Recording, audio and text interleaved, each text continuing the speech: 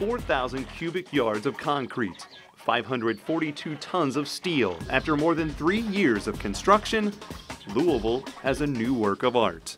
Oh, it feels incredible to be, a, to be a public museum again. In stark contrast to the classical original structure now called the South Building, the new North Building boasts an open floor plan bathed in natural light, holding art as contemporary as the new addition itself. Perhaps it's a coincidence, but the old and new buildings are visually linked by a gold sculpture of the globe. The executive director hopes the museum creates an intergenerational conversation with a global view. Uh, really important for me to have uh, grandparents and grandchildren being together, talking about art, but also experiencing about why things were done this way, why 6,000 years of history make us the way we are right now. There's a little bit of something for all ages and interests. Speed now features a cinema with new films every week.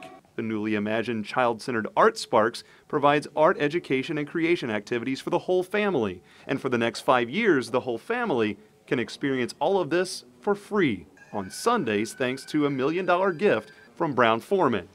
Doubled in size with even more to see. Speed expects more eyes to behold its beauty. Really, we have now a top-notch international level institution building a museum. We could collaborate now with the Louvre in France or the Metropolitan in New York because we have that capacity.